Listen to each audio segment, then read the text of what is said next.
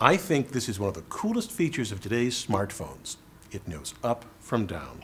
Built into the circuitry is a tiny device that can detect changes in orientation and tell the screen to rotate.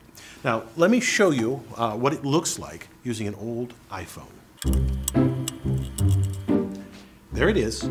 It's an accelerometer. I'll tell you how this kind of chip works and how it's made, but first some basics of accelerometers. They have two fundamental parts a housing attached to the object whose acceleration we want to measure, and a mass that, while tethered to the housing, can still move.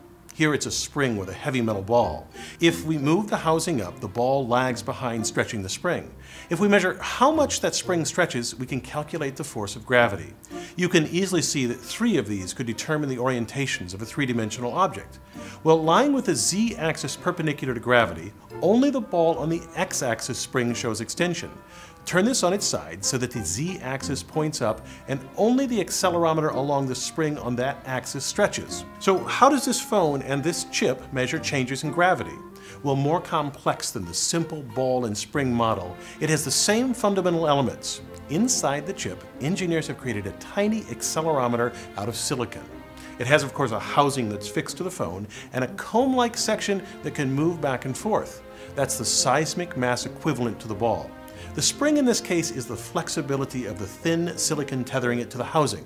Now, clearly, if we can measure the motion of this central section, we can detect changes in orientation. To see how that's done, examine three of the fingers on the accelerometer. The three fingers make up a differential capacitor. That means that if the center section moves, then current will flow. Engineers correlate the amount of flowing current to acceleration. This accelerometer fascinates me, but even more amazing is how they make such a thing. It would seem nearly impossible to make such an intricate device as this tiny smartphone accelerometer. At only 500 microns across, no tiny tools could craft such a thing. Instead, engineers use some unique chemical properties of silicon to etch the accelerometer's fingers in H-shaped sections. Now, to get an idea of how they do this, let me show you how to make a single cantilevered beam, like a diving board, in a small chunk of silicon. Empirically, engineers noticed that if they poured potassium hydroxide on a particular surface of crystalline silicon, it would eat away at the silicon until it forms a pyramidal-shaped hole. This occurs because of the unique crystal structure of silicon. To make a pyramidal hole in silicon, engineers cover all but a small square with a mask impervious to the potassium hydroxide. Now, it only etches within the square shape cordoned off by the mask. The potassium hydroxide dissolves silicon faster in the vertical than in the horizontal direction. This is why it makes a pyramidal hole. Now, to make a cantilevered beam, engineers follow these steps. First, mask the surface except for a U-shaped section. At first, the potassium hydroxide will cut two inverse pyramids side by side.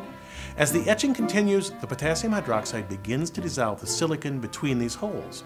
If we wash it away at just the right point, before it dissolves the silicon just underneath the mask, it will leave a small cantilevered beam hanging over a hole with a square bottom. Engineers make smartphone accelerometers using these same methods, but as you can picture, it takes a series of detailed masks to create the intricate structure of a smartphone accelerometer. While complex, a key point is that the whole process can be automated. This is absolutely essential in the miniaturization of technology. Engineers now make all sorts of amazing things at this tiny scale. Micro engines with gears that rotate 300,000 times a minute, nozzles in inkjet printers, and my favorite, micro mirrors that focus light in semiconductor lasers. I'm Bill Hammack, the Engineer Guy. This video is based on a chapter in the book, Eight Amazing Engineering Stories. The chapter features more information about this subject. Learn more about the book at the address below.